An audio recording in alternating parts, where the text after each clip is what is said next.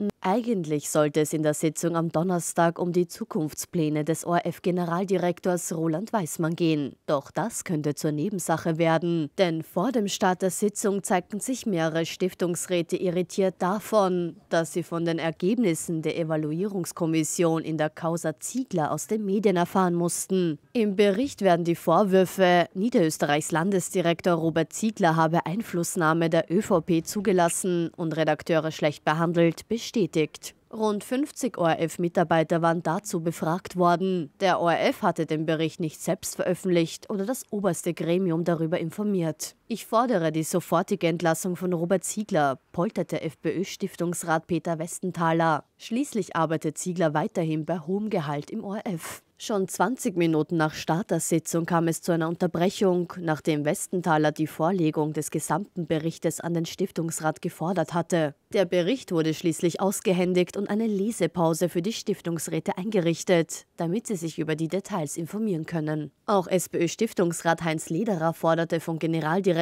Roland Weißmann Aufklärung in dieser Causa Prima. Eine Entlassungsforderung gab es von ihm aber nicht. Doch was war Robert Ziegler genau vorgeworfen worden? Wiederholte mangelnde professionelle Distanz zu ÖVP-Politikern, wie auch die Herabsetzung, Demütigung und Bloßstellung von Redakteuren und Redakteurinnen. Ziegler soll auf Interventionsversuche der ÖVP kritische Berichte nicht gebracht oder ÖVP-freundliche Artikel forciert haben. Die Vorwürfe führten zu einem Rückzug als Landesdirektor und zu einem Wechsel in eine andere Abteilung. Es wurde eine Evaluierungskommission eingesetzt, deren Ergebnisse nun erst verspätet bekannt geworden sind. Zuerst hat der Dossier darüber berichtet.